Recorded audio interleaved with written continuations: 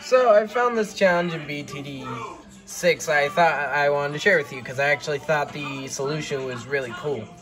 So first, you get a spiked fact. So the challenge itself, you have to beat round 40 with these towers, deflation.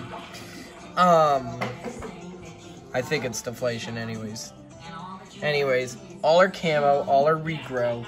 The balloon speed is 200%, the Moab speed is 500%, the ceramic health is 2000%, Moab health is 50%, and regrow rate is 1500. So what you need to do is first get out a spike factory and upgrade it to Inferno Ring. Then get a uh, heli pilot and set it to patrol from about here to here. Uh, maybe here to here. That works too.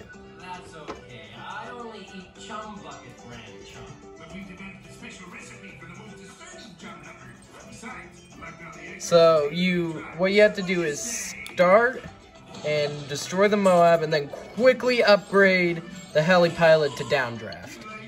Then what you need to do is get out a monkey wizard and upgrade it to shimmer.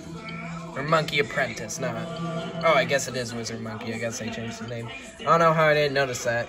Anyways, after they're all no longer camo, sell it and get out a glue gunner and upgrade it to the Bloon Solver with glue splatter.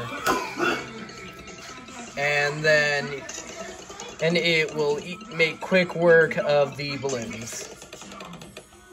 And that's it.